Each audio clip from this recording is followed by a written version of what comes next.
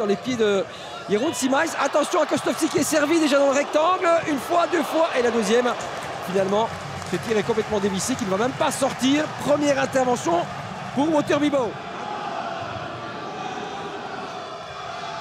Intervention euh, là-bas à gauche de, de Kiss. Mais attention ici à Az- Azevedo, on connaît sa vivacité. Ouais, c'est un bon service pour Lumba. Et l'ouverture du score dans ce match.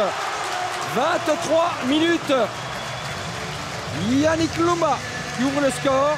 Et OHL donc euh, qui mène, on va dire logiquement, en quelque sorte, hein, ouais, euh, avec euh, au nombre de possibilités. De Medina.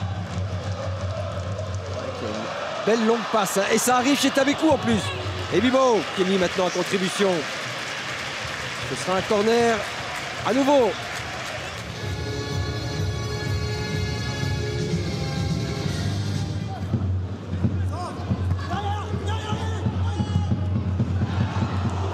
Et la frappe ici.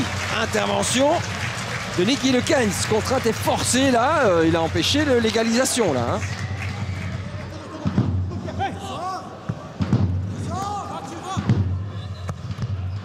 Le centre est parti. Ça arrive chez Cornet. Ah, qui n'a pas pu euh, se retourner.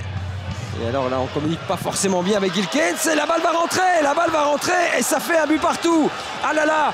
On le paye cher là du côté de HL. Sincèrement.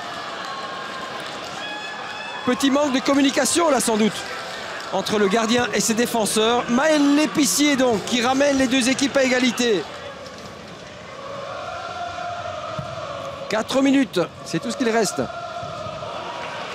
Bonne déviation de Kostovski.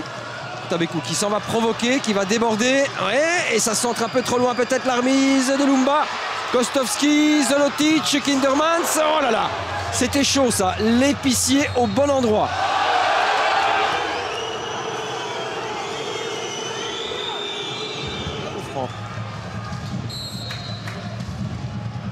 C'est euh, Lumba lui-même qui joue ce, coup franc. Dans le but directement, c'est repoussé une première fois. Et Ngawa Oula Ça passe au ras du menton, du, du montant de Bibo.